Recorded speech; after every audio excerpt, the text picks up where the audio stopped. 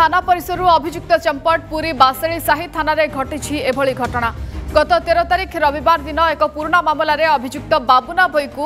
বাসেড়ি সাহি থানা পুলিশ গিরফ করে থানায় রাখি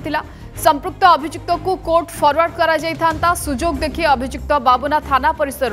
কার্যরত পুলিশ কর্মচারী ধক্কা মারি রাতে খসি পলাই সূচনা মিছে খসি পলাই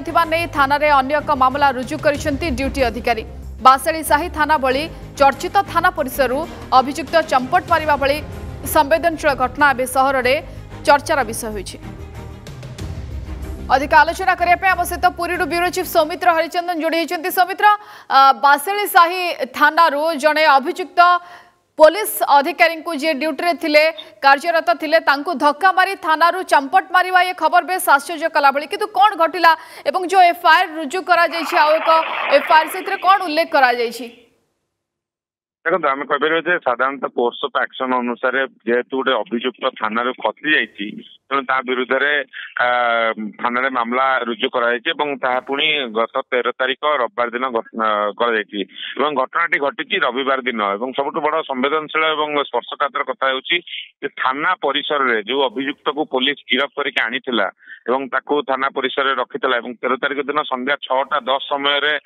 ସମ୍ପୃକ୍ତ ଅଭିଯୁକ୍ତ ଯିଏ ବାବୁନା ଭୋଇ ଅଛି ତାର ବୟସ ଉଣେଇଶ ବର୍ଷ ତାକୁ ଏକ ପୁରୁଣା ମାମଲାରେ ପୋଲିସ ଗିରଫ କରିବାରେ ସଫଳ ହୋଇଥିଲା ଏବଂ ତାକୁ ଆଣିକରି ଥାନାରେ ରଖିଥିଲା ଏବଂ ହାଜତରେ ତାକୁ ରଖିଥିଲା ଏବଂ ଥାନା ପରିସର ଏବଂ ହାଜତ ମଧ୍ୟରୁ ଖସି ପଳାଇବା ରାତି ନଅଟା ସାଢେ ନଅଟା ମଧ୍ୟରେ ଖସି ପଳାଇବା ଯାହାକି ସମ୍ପୂର୍ଣ୍ଣ ଭାବରେ ଗୋଟେ ପୋଲିସ ର ନେଗ୍ଲିଜେନ୍ସି ଉପରେ ବା ବାସେ ଯାଇ ଥାନାରେ ଯେଉଁମାନେ କର୍ତ୍ତବ୍ୟ ଅଛନ୍ତି ତାଙ୍କ ନେଗ୍ଲିଜେନ୍ସି ଉପରେ ପ୍ରଶ୍ନ ଚିହ୍ନ ଉଠଉଛି କାରଣ ଆମେ ଏଠି ଏଥିପାଇଁ କହୁଛେ ନେଗ୍ଲିଜେନ୍ସି ରହିଛି କାରଣ ଥାନା ପରିସର ଭିତରେ ଗୋଟେ କମ୍ପାଉଣ୍ଡ ଭିତରେ ବା ଗୋଟେ ଘର ଭିତରେ ଏଭଳି ଘଟଣା ଘଟିଛି ଏବଂ ହାଜତ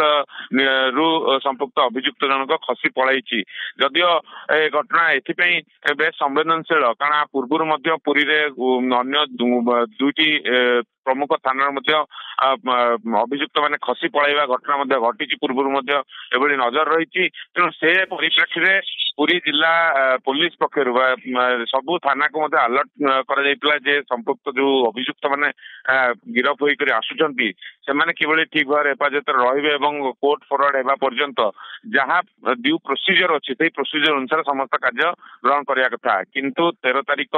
ରାତିରେ ଏଇଭଳି ଘଟଣା ଘଟିଛି ଏବଂ ଏ ଘଟଣା ଯେହେତୁ ସମ୍ବେଦନଶୀଳ ଏଥିପାଇଁ ଆମେ କହୁଛେ ଯେ ଗୋଟେ ଦିନ ପରେ ଏ ଘଟଣା ବର୍ତ୍ତମାନ ଲୋକଲୋଚନକୁ ଆସୁଛି କାରଣ ତେର ତାରିଖ ଦିନ ରାତିର ଘଟଣା ଏବଂ ଗତକାଲି ଚଉଦ ତାରିଖ ଦିନ ତମାମ ଏହା ଉପରେ ଅଧିକ ତର୍ଜମା ମଧ୍ୟ କରାଯାଇଥିଲା ଥାନା ଅଧିକାରୀ ଏବଂ ଅନ୍ୟାନ୍ୟ